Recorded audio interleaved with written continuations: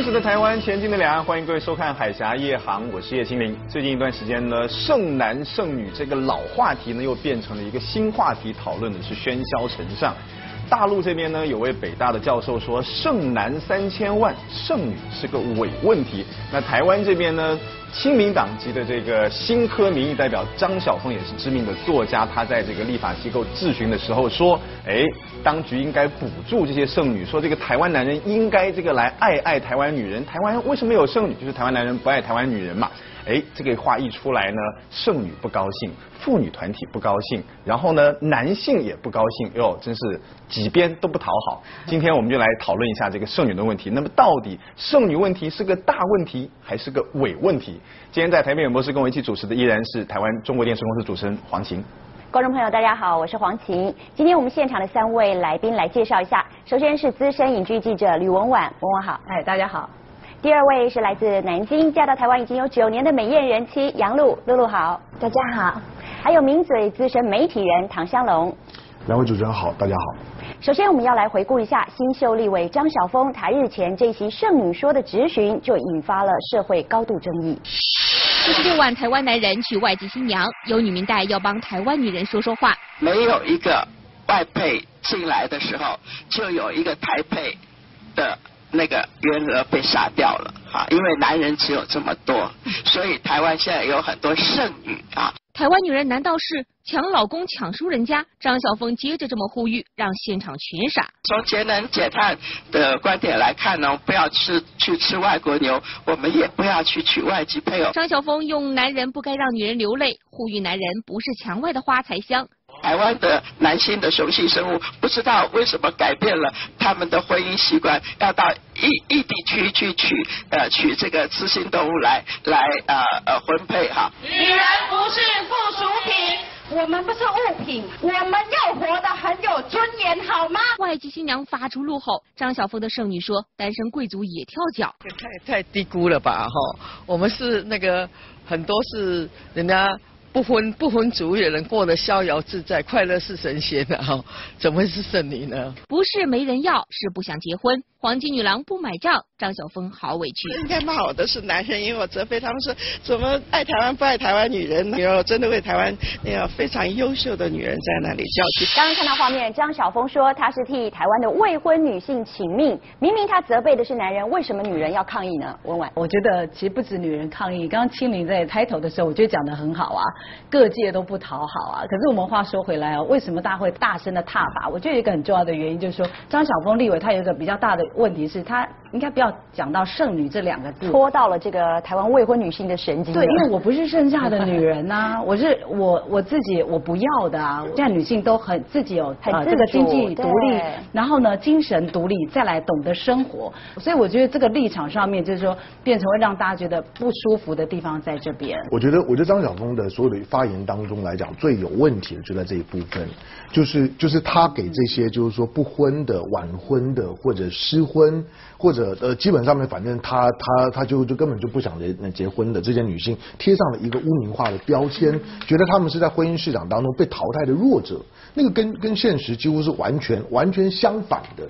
因为绝大部分就是刚刚我文婉所所提到的那样那样子的情况。今天有任何一个男男人要靠近文婉的时候，你想他要经过多么严严格的筛筛筛选，不太可能，连喝咖啡他都很难难挑剔了，何况是说要要走进婚姻的殿堂。那其实呢，这个台湾男人不认同，台湾剩女不认同，台湾人妻也不认同。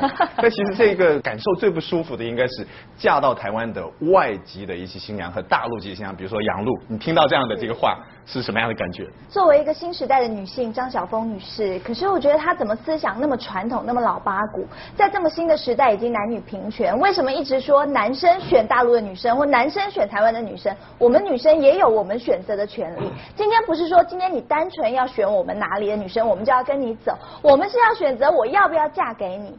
那现在问题说，为什么那么多外籍或大陆的愿意嫁给台湾的男生？其实有一部分原因是因为其实距离产生美，是因为我们在结婚前对你们不够有了解，所以脑袋有对婚姻和对台湾男人的幻。幻想，所以才会跟他们结婚。这句话有问题。真的，如果台湾愿意开放，让我们在婚前到台湾来试婚半年到一年的话，我相信大家有一半的外籍或大陆新娘都会改变他们的想法。有有有有有问题吗？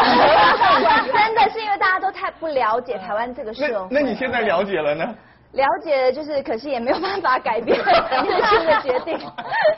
这是一个幸福的没有办法的决定。但是这一次张晓峰的言论呢，确实让很多人是大跌眼镜，因为张晓峰之前留给大家的印象是非常的良好的。这次当了这个民意代表，第一次来质询，就引起这么大的轩然大波。我们当然了，大陆的很多观众可能对他不是十分了解，我们先通过一个短片来认识一下张晓峰。张晓峰是台湾著名的散文作家兼大学教授，在文坛创作五十多年，笔下常流露出对大自然的爱惜。曾有多篇作品入选大陆及台湾的中学教科书，还曾经被列入大陆湖北中学入学考试考题。而武汉的平面媒体还给予大篇幅报道。去年，张晓峰为了抢救南港实地，挺身而出，公开跪求马英九的动作，令人印象深刻。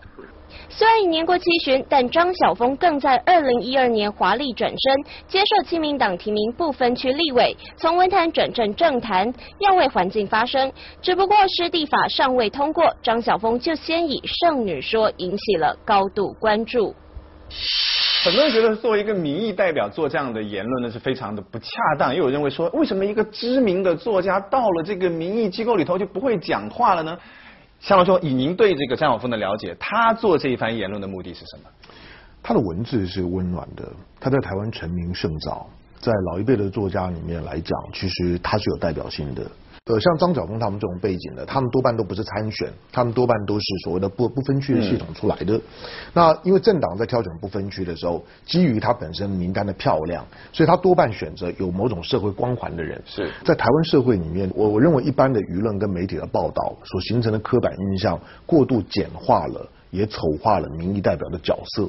那认为民意代表很简单。反正选上了之后上去呢，胡言乱语一通，什么话呢都都可以讲，所以随便乱乱扯就过关了。那张晓峰的情况其实不不是只有张晓峰，许多的明代，包括演艺圈出来的，你都会发现，就是说，当你第一次上台的时候，就会出现一枪毙命的这种情况。就是你除了你自己关心的那个议题，你能够你能够讲讲出就是说几分内容之外，因为你就是关注那个议题，其他的议题，当你开开始用漫谈的方式的时候呢，几乎每次一开口就就就就出问题。其实要扮演好一个民意代表的角色，没有像你在镜头前所看到的这么简单。那他背后的准备是不够的。但是张晓峰呢，在这次的事件之后，他所引发的后遗症就是许多跟他有相同背景的、来自弱势团体的、就是专业单位的，后来就都不敢上上台去去讲话了，就是要质询的时候呢，都开始散，就开始是，我就不就一直不问，好像有名单到现在为止开了这么多的这个会，还没有一次是就是死都不肯上台去就去发言，那也放弃自己的就是质询权，那他不见得不好，就是说他换成你要你要做好比较比较好的准备了。有人说张晓峰他很像是城堡里面的公主，他觉得有。几个公主就一定要有多少个王子来跟她配？那文婉，你觉得女人是这样被男人 fire 掉的吗？其实我觉得当然不是了啊。可是大家其实这次的风波，大家会开始怀疑张晓峰，你是不是因为婚姻太幸福了，还是你刚刚讲的公主？你是不是有公主病之类的？就是说你在活在城堡里面。可是我们仔细去看哦，其实倒倒不见得。像张晓峰跟他现在的婚姻到底幸不幸福哦？我特别去查了一下，他在二十四岁啊，他就呃跟他先生相恋相识，然后每次呢，他因为他老公那时候是这个宇宙光的执行长，非常非常的忙碌，所以常常是神龙见首不见尾了哈。然后所以他有时候呢，他说大家说你们都腻在一块，他说没有啊，他常会告诉他先生说，哎，你我赢来接啊。他怎么？他是用台语来形容他跟他之间，他跟他先生之间的关系。所以不是大家想象说是腻在一块儿，就是王子跟公主公主从此过了幸福快乐的日子。所以一直到二零零五，我觉得那个事情也是大家现在大家说是不是同情票的问题啊？因为他后来得了这个大肠癌嘛啊。那这个过程他就体会到所谓生命的这个可贵。所以一直到后来，他觉得说，那女性或者是说两性之间呢，其实到最后一定要走向一个什么？一定要有一个一个巢穴，然后两个人呢要一时一着，然后来经营这个所谓的这么甜蜜的家 OK 幸福快乐可是问题呢，他没有想到就是说呢，其实现在的女性什么，大家真的经济独立抬头。像我，我每天这样工作很很辛苦，但是我很清楚一件事情，是我为了我自己，嗯不是我自私不愿付出，而是对方值得我付出吗？其实抛开种种争议，张晓峰提出的剩女论，其实还是有他的这个背景跟依据的。根据台湾官方的最新统计，台湾适婚年龄的未婚女性有两百一十七万，而台湾的总人口是两千三百多万。如果拿这两个数字来比一比，就看得出来，剩女的确会是个大家值得关注的社会问题。人来人往的大马路上，情侣俩十指紧扣，好甜蜜。人生的下个里程碑是不是进入婚姻？每个人有不同选择。最新的调查显示，适婚年龄的男女有高达四分之一表明根本不想结婚，原因不外乎是经济压力或是没时间。工作方面其实占蛮大的一个因数，因为第一个工作的时间比较长了，那比较不会有心思放在交男朋友方面。二十六岁的于小姐条件很好，但却是个工作狂，一天有十二个小时在工作，根本没时间交男朋友。不婚族越来越多，这也难怪全台湾有百分之十二点三的人承认自己很寂寞，也就是有一百零七万名旷男怨女遍布全台。难道婚姻真的是恋爱的坟墓吗？前面我们就有谈到这个“剩女”这个词啊，大家都会觉得说，哎，有可能是污名化，有可能是妖魔化，有可能是一个贬义词，还是中性词。其实我要给大家证明一下，因为这个我我通过这个百度搜索，其实这个词呢，呃，已经收入在字典里头。二零零七年八月份，这个教育部公布了这个一百七十一个汉语新词之一，就是“剩女”。它怎么解释的呢？是指现代都市女性，她们绝大部分拥有高学历、高收入、高智商。长相也是无可挑剔，但是因为他们择偶的要求比较高，导致在婚姻上得不到理想的归宿。那其实呢，现在在大陆对“剩女”这个词呢，应该是中性词，所以很多的剩女呢，她们不认为自己是被剩下的，所以呢，这个“剩女”这个词在大陆现在已经被普遍接受，说不会是有贬义的意思。那到底台湾民众又是怎么看待剩女的？我们的驻台记者又有一个小调查。有人说剩女是圣洁的圣，有人说剩女是被挑剩的剩，有人说剩女是高学历、高收入、高智商却低情商的代名词，也有人说大浪淘沙，剩下来的才是会发光的金子。那么在台湾民众心中，究竟什么样的未婚女性才会被称为剩女呢？就是到适婚年龄还没还没有结婚的或没有对象的吧。可能经济状况比较好，然后三十几岁，然后可能没有一个稳定交往的对象这样子。应该是比较专职在工作上，就是比较独立的女生吧，我觉得。说到台湾的未婚不婚女，不管是政界、商界，还是在娱乐圈里，还真都不少。先说娱乐圈的，在两岸都很有知名度的林心如，传闻身家过亿，虽然已经三十六岁，却还是单身，并一再强调，现在的我并不想结婚。我没有那么想要嫁啦，但是我可以就是交个男朋友也还不错啊。而台湾第一名模林志玲今年已经三十八岁了，虽然很多人都说她是男人心中的女神，可这位女神至今也仍是待嫁闺中。还有刚刚步入不惑之年的歌坛天后张惠妹，事业如日中天，感情却频频遇阻。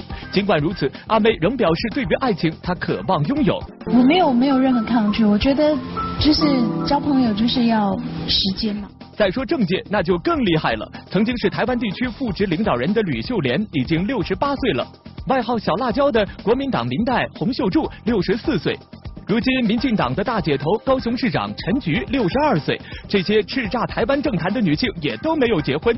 如果也归到剩女里，那就是超级剩女了。我发现每次我们这个播 VCR 的时候呢，现场就聊得非常这个热络，所以可见这个剩女尽管是一个老问题，但是呢，大家还是非常有兴趣来聊。刚才我们从这个短片也可以看出，剩女其实这个说法呢，虽然是最近才开始这个引起轩然大波，但是剩女这个群体呢，早就存在。比如说政坛，嗯，有很多。超级的剩女也很漂亮的啊，像李继珠啊、高金素梅，我们之前聊过。那那娱乐圈就更多了。那我们先问这个向龙兄，你跟政坛比较了解，举几个台湾这个政坛的超级剩女，他们为什么？老的老老的我们就不要讲了啦，因为因为蔡英文、陈菊就不讲了。不提小辣椒呢？就是那个那个已经已经已经剩到剩到你也不知道该该该怎么处理。你你不要说蔡英文，你说像是肖美琴。这些也都被经常在谈到郑丽君，这些都都未婚哦，这些都是民进党的青壮世代的女性啊，外形你你你说不好吗？很好啊，经历好不好？很好啊，但是她要找到一个对象，你可以想见有多么困难。你在政坛上面历练过的女女性，她尤其困难。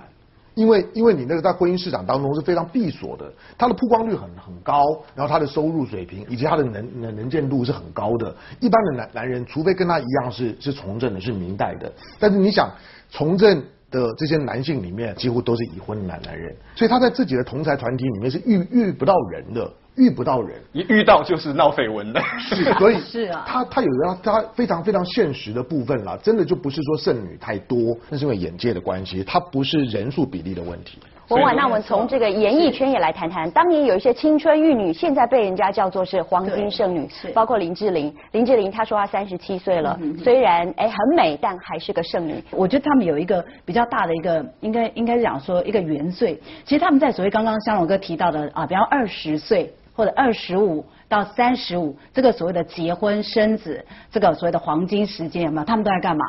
他们要拼事业啊，他们要冲事业啊。可这过程当中，他们有没有所谓的机会？有没有绯闻？我们以林志玲来讲，有啊，至少大家知道有三段。对，第一段就是其实那时候还没出名的言承旭嘛，对不对？大家记得吗？那一直到所以他们这个所谓的呃出游，然后所谓浴袍照。曝光之后，大家发现说，原来你们在一起，可是因为那时候各自要什么？就刚刚我提到重点，各自要发展事业，所以他选择放弃。哦，这是一段嘛啊，然后再另外一段是可能大家比较不熟悉，就是呃一个台湾很有名的这个室内设计师，那现在也结婚了。其实这个可能是志玲姐姐唯一承认的一段。然后再就是大家现在比较耳熟能详的，就是马桶小开。邱世凯。对，大家都那个媒体都觉得都觉得很很很以为说，可能明天他们就会公布婚讯那种感觉。对，可是就是很扑朔。到后来最近一次就是呃今年的情人节，志玲姐姐就讲啦，她说没了，她说没有哎，没有她，因为她放了一句话，她。说有人他一个人，然后有人求婚啊，这个对象适合，他就结了。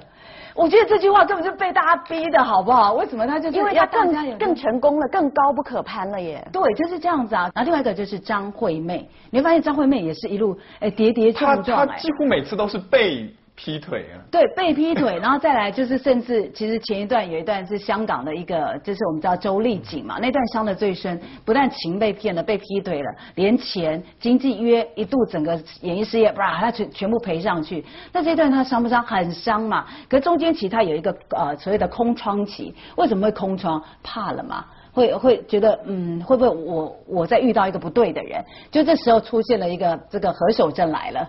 何守正来了，哇，伤伤的也不轻啊，对不对？那这个也是一个噩梦，我觉得没有一个女人经得起这样子，所以她的那个惧怕感会很重。那一直到现在，我们知道有一个这个国际级的调酒师出现了，两个在稳定发展嘛。其实很多像这样的女艺人，像苏慧伦也是，她讲过一句话，她说呢，我要小孩。但不一定要小孩的爸，很好，你知道吗？而且你知道重点是太棒了，对呀，他说我想这样子，我不是，你是想推卸责任吗？不不不是我的意思说，其实其实女女其实女女生在面对到婚姻市场的时候，她往往会引导她进家庭的原因，她她也很希望感受那种生儿育女，就是当妈妈的那种那种那种的那种的乐趣或者感觉。所以大家都在讲男人、女人、剩女、剩男，其实都没有观察到家庭这个因素。因为我是从内地来到台湾，那我据我观察，其实台台湾的女性在她的独立自主意识在飞快的成长，嗯，可是家庭的观念却一直停滞不前。台湾其实。跟大陆比起来，它是更加传统的那种家庭观念，所以导致很多就是独立意识增长的女性，她想说：我为什么我的学历不输你，我的经济条件不输你，我的家庭环境不输你，可是我为什么要为了你放弃我的主权？因为我平常都在呃健身房，我在练瑜伽。我去健身房练瑜伽，是我不断的在家争取我的主权，争取来的。就是我下班之后，我要我要顾到我的爱好。那听起来，这个露露啊，如果说早些年不是嫁到台湾来，是来台湾工作到现在。的话，她现在也是这个黄金剩女，绝对是剩女。而且瑜伽没有家。其实我们聊了很多，大家对这个剩女的讨论啊。其实呢，大陆现在还有一种这个对剩女还分级呢，什么圣斗士啊、必胜客啦、胜者为王了等等，到底怎么回事？广告之后我们接着回来聊。欢迎各位再次回到海峡夜航，我是叶庆林。我们前面一节里面谈到这个“剩女”这两个字呢，我们几位女生，包括香龙兄，都已经是义愤填膺，或者不爽，或者是抓狂。那我来接下来这个大陆网友呢，还给这个“剩女”进行了一个分级，不知道听到这个分级他们会作何表情啊？你看这个分级。二十五岁到二十九岁叫圣斗士，什么叫圣斗士呢？这个人群的特性是以工作为主，停留在只想谈恋爱的阶段。那么还有第二个级别，三十到三十四岁叫必胜客，必胜客是事业越有成就，眼光越高，找对象越不容易。嗯，接下来下一个级别是三十五到三十九岁叫胜者为王，这个群体的特性是事业有成。很难找到匹配的人物，更重要的是情路坎坷。张惠妹应该就是这个胜者为王。四十到四十四岁叫齐天大圣，齐天大圣是女性的条件太优异了，男性怕被拒绝，不敢去追求。哎，还有更厉害的，四十五岁以上叫圣母玛利亚。这个特性是，就是呃，在感慨西梅西梅姐就是对感慨当年这个 未拼事业错过许多机会，所以我们看到这个每个不婚的女性呢，这个不结婚的呃呃结果是一样，但是不结婚的原因各有各的不同，所以看来这个级别。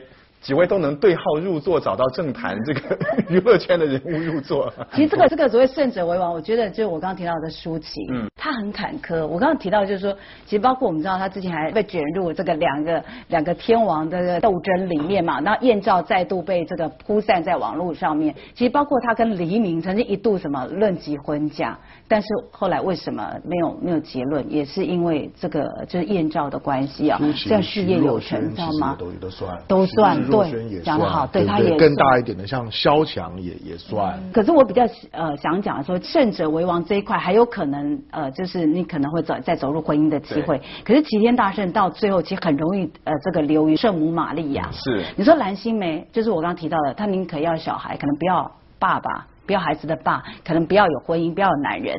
可是你知道吗？这个其实有时候也迫于无奈。他就告诉我，他就说我宁可被骗身啊，骗色失身。你讲的好，不要失财。对，可是他每天都想是，不不，我不知道。但是。宁可了。这个其实他非常幽默、非常诙谐，就讲了一句话：难道你这个年纪，你还觉得说人家会为了你的美貌跟你的身体来吗？不可能嘛。那其实一度他是想要孩子的，可是现在已经到了圣母玛利亚阶段，很难。因为确实有很多到了某个阶段之后的女性，她几乎念头心念一转，就是婚姻对我来讲真的很困难，连谈恋爱都困难。但是如果能够让我有一个孩子。那就 OK 了。我我人生即使不是百分之百，但是我觉得有有有八十分。我常常写文章谈，就说我在我在警告女生，就三十四岁啊是你的命定之数，因为三十四岁那一年。你的你的你的怀孕成功的几率会直线下在下降。三十四岁你即使做不孕症，我告诉你，成功几率只有百分之十五。你看到了像是白冰冰，看到了蓝蓝心湄，他们怎么做？很辛苦啊。会会会成功吗？我我当然期望他他成功，因为我跟他们聊聊过。可是我告诉你，那个痛苦非一般女性所能想象。如果你没有经历过的话，香龙兄的这个话总结成一句话，就是说，如果你不想成为圣母玛利亚的话，就赶紧在圣斗士的阶段 加紧战斗，解决自己的这个个人的问题。我这里还有有两个这个。片子大家来看一下，一个是这个对婚姻未必很渴望，刚才也说了，这个在台湾呢，但有单身女性呢为自己举行一个人婚礼的，我们来看一下。台湾情侣陈薇依选定在三十岁前夕嫁给自己，筹备一个多月，喜帖、婚戒、婚纱照，通通没有少。之前可能也没有人想过说会一个人办婚礼，所以呢，我就想，那我也是算也办了婚礼，也是结婚啊，那大家也不能再说我我是没有结婚的人。除了要堵住舆论的压力，这场一个人的婚礼，陈唯一还想告诉更多的人，要学会爱自己。这样的事例不止一个。五十岁的台湾两性作家江映瑶，不久前也披上白纱，举办了一场没有新郎的婚礼。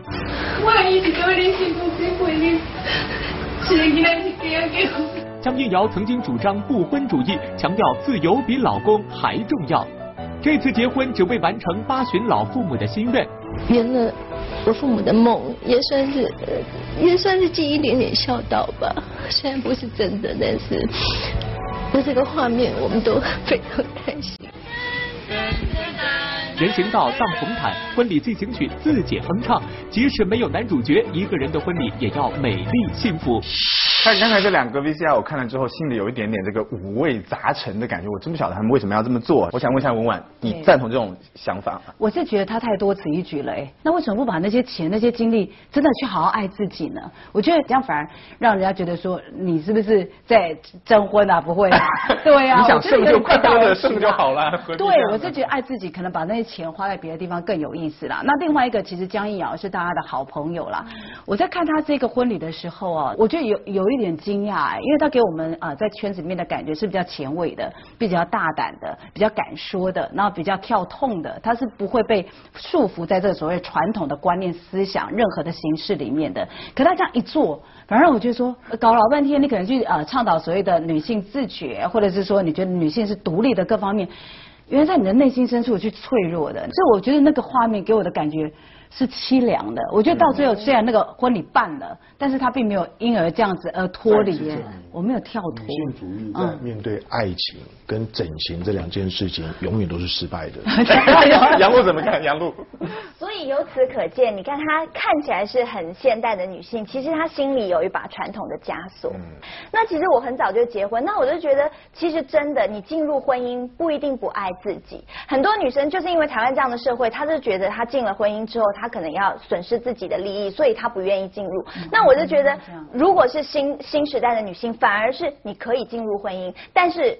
你还是要保有自己，你爱老公爱孩子一样，你要爱自己，你不能因为婚姻而失去了你的自你自己。那其实刚才两位女性呢是用这样一种非常独特的方式来表达自己对婚姻的理解，但其实我觉得大部分不管是剩男剩女也好，都是希望能够跟自己的另外一半最终是走进结婚的礼堂的。那现在有一个报道说，光是这个北京市保守估计就有超过五十万的剩女。那最近几年呢，大陆的这个电视的婚恋。交友节目是相当的火爆，有有很多的这个关于剩男剩女相爱的影视剧是相当的受欢迎。我们来看一个片段。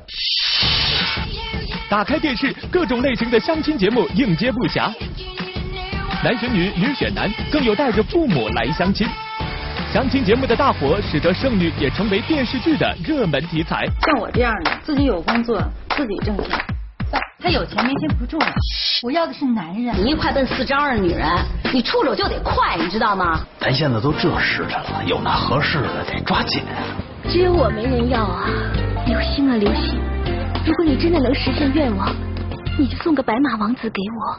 让我今年嫁出去。这也剩女，那也剩女，难道现今真的是剩女井喷的年代吗？其实两岸这个透过电视交友的情形也还蛮多的，像台湾早年的时候就有非常男女人啊，还有我爱红娘。对。但为什么这几年大家在讲这个黄金剩女，但这个时候却没有电视节目出来做这种交友的情形呢？其实还还是有啊，最近有一个在有台比较少，它是呃就是用所谓的这个星座配对的方式啊，可我觉得那个比较纯属娱乐。其实现在的人会觉得说。说这种上这种相相亲节目很驴啊，对不对？很囧啊！我为什么要上这些节目？我当然要很 free，我自己去挑我自己要的对象啊。那所以其实现在这样的节目比较反而比较流于作秀，或者是说先 say 好的，其实这占大部分。所以说就再次驳斥了这个张晓峰民意代表的一个言论：剩女不要被补助，我们自己可以过的。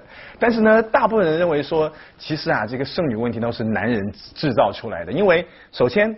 这个这些剩女太优秀了，有车子有房子，什么都有。对，一般男性都不想站到他们旁边去。那优秀男人干嘛去了呢？他们泡事业、泡酒吧、泡咖啡厅、泡健身房，就是不泡妞。所以，台湾男人真的不爱台湾女人了吗？广告之后，我们接着回来聊。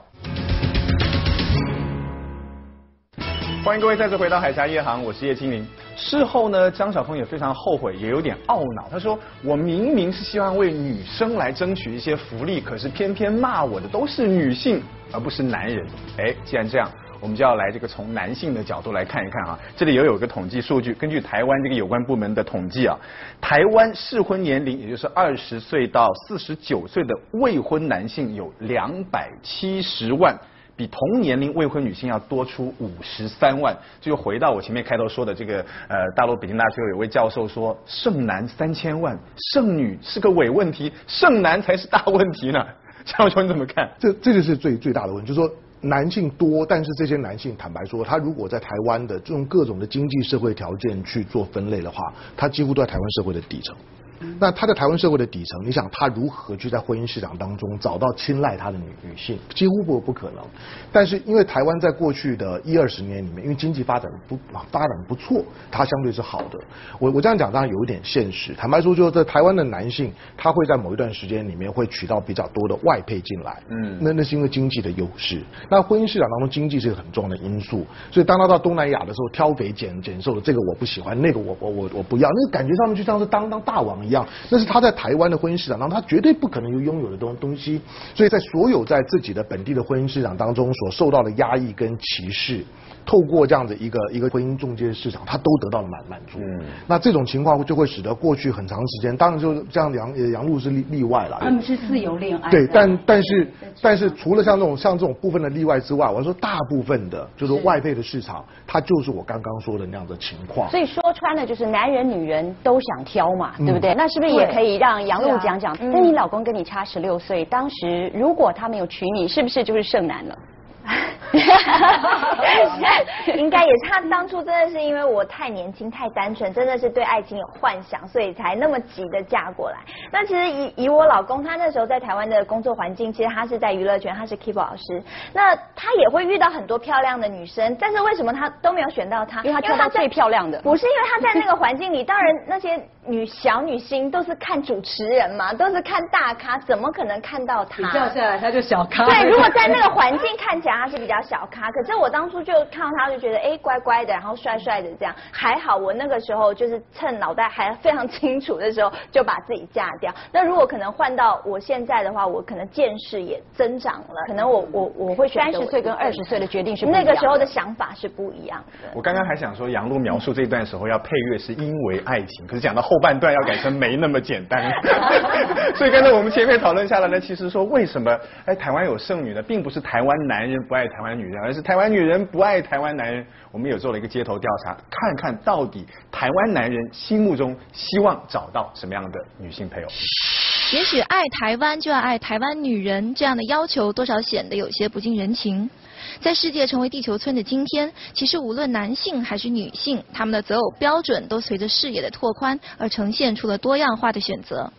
那么，究竟在台湾男性心目中，理想的择偶标准究竟有哪些呢？通常会比较偏向温柔那那个女性吧，可爱型的吧，应该是比较漂亮的吧，不需要就是太强的工作能力也可以。以财力做标准吧，要负责任嘛，要有一个稳定的工作，不希望对方太过于现实或者是势利眼吧。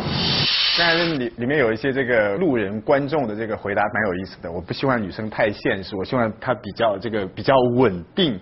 我想问一下，那台湾的普通家庭里头，男生女生怎么分工的？在比较传统的家庭里面，比如说在闽闽南闽南家家庭里面，他传统的务农的社会出来的家庭里面，其实呃还是男尊女卑。那女生要负担比较多的家里面的事情，即使现在不务农了，男人不用下田了，可是你会发现，男人回到家里面之后，因为世世代代的那种的那种文文化基因，在家里面表现出来的男性仍然有一定的强势跟优优势，他可能把自己放得非常的前面。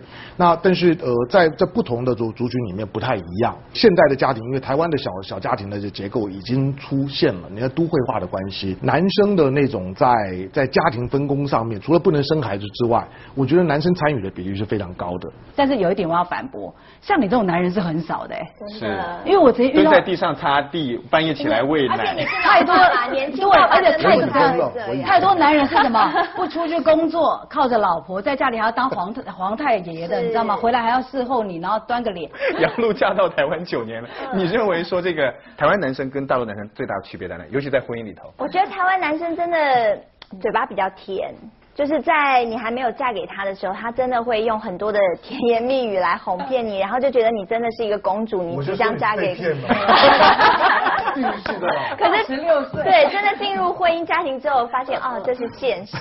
那大陆男生可能就嘴巴不太会表达，但是其实可能做的更实际，譬如说像。就是工工资卡都直接给老婆，自己就是每个月领零用钱这样。但是台湾的男人还是比较大男人，他希望自己掌控家里的经济状况。是，所以说到这里呢，我们其实说这个台湾男生可以外娶，台湾女生也可以外嫁。所以娶不娶、婚不婚呢，其实都是个人的自由。但是呢，剩男剩女越来越多，确实已经成为一个社会的问题，导致不管是社会还有有关的当局都要开始出面来干预，制定一些这个政策来规定。那到底会不会有效呢？广告之后我们接着回来聊。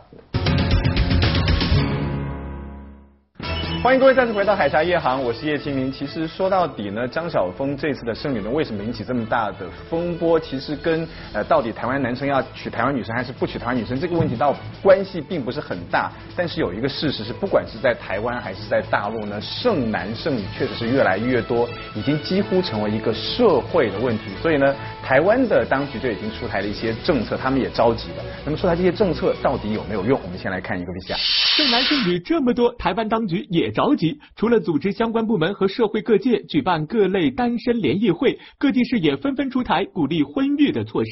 从新生儿的出生、养育到上学，通通都有补助。恭喜恭喜恭喜恭喜！恭喜爸爸，恭喜妈妈。台北市祝您好运专案开跑，今年生小孩的台北市民就可以领到两万元的生育补助。不论是第一胎、第二胎或是第三胎等等，只要双亲当中有一位涉及在台北市一年以上，而且有居住的事实，那么新生儿报户口的时候就可以领到两万元的生育奖励。至于养育方面，那么五岁以下的儿童每个月可以领两千五百块的育儿津贴，而且五岁的幼儿上托儿所或是幼稚园，每个学期还可以减免一万两千五百四十三元的学费。至于其他县市的生育津贴，新北市也是两万元，台中市是一万元，最高的则是苗栗县的三万块。我想问一下夏龙兄，为什么这个台湾行政部门要做这样的一些措施，这样的出台这样一些规定，有没有效？呃。有没有效？现在初步看起来是有效果。你人口政策是是总体政策当中最核心的部分。你人口如果老化，人口减减少，它当然是个大问题。那你现在台湾的台湾的女性的，就是说的第一次进到婚姻市场里面的年纪，大概已经来到了二十八岁了。平均的生育率，甚至于在前两年降到每一对夫妻只生零点八九个孩子。那当然很很麻烦。那呃，所以他现在就鼓励鼓励生育，但是婚生育的前提当然是要要婚姻嘛。那所以他要鼓励你早一点结婚，早一点生，然后。呢，制定很多的政策，让你生孩子不害怕，因为大家都觉得生孩子好像养孩子很辛苦啦，养个孩子到二十岁要花一千万，你一听到你头都头都昏了。你算算看，就讲我一个月才赚多少钱，我一年赚多少钱，花一千万，那那那我自己的剩剩什么呢？所以大家当然会怕，所以大呃政府当然就会有很多的这些政策进来，就是鼓励你进到婚姻市场里面。其实鼓励你进来的目的是要鼓励你你生育啦，因为这是会是一个连锁反应，剩男剩女多了，接下来就是这个人口结构的问题出来了，人口结构问题失衡了，一系列的社会。问题就产生了。但是不结婚不生孩子，毕竟这也是个人的选择，是不是可以请文婉谈谈？你觉得社会应该怎么样正确来看待这些剩男剩女？其实不是问题啊。我觉得这个是一个氛围氛围的一个问题。其实我身边有很多，比方二十八、三十岁的妹妹，她会跟我聊说：“哎，文婉姐怎么办？”我就开始有压力了。我都我都告诉他们说，其实就是只有一个信念。不要为了结婚而结婚，而且你要知道，结婚是为了你自己，这是很重要的观念。再来为自己负责，不管你选择是什么，我觉得这个观念很重要。是，所以说这个大龄男女青年结不结婚、娶谁不娶，或者是结婚以后生不生小孩，其实都是个人的选择。有一句话说的非常好，人生有一件最重要的事情，那就是在我们自己掌握之中走到底，按照心灵真实的渴求去走到底。节目最后送大家一首黄小琥的《没那么简单》，真的幸福没那么简单，要自己去寻找。最后也衷心的祝福天下所有的剩男剩女都能找到自己的幸福。下周一的同一时间，我们继续海家一